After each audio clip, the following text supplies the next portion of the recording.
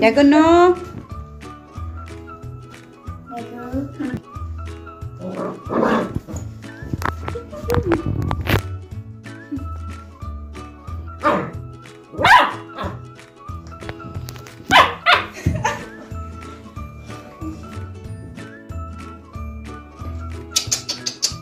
Jago tâm.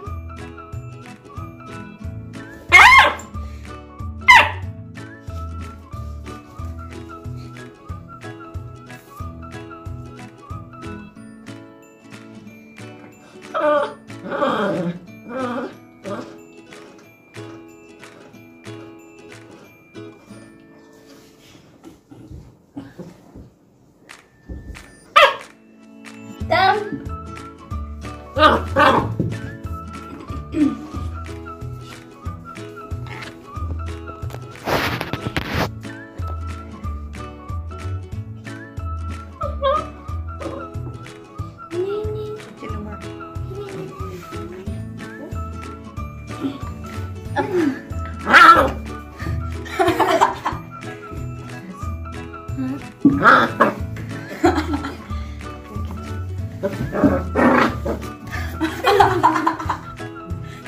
Mm-hmm.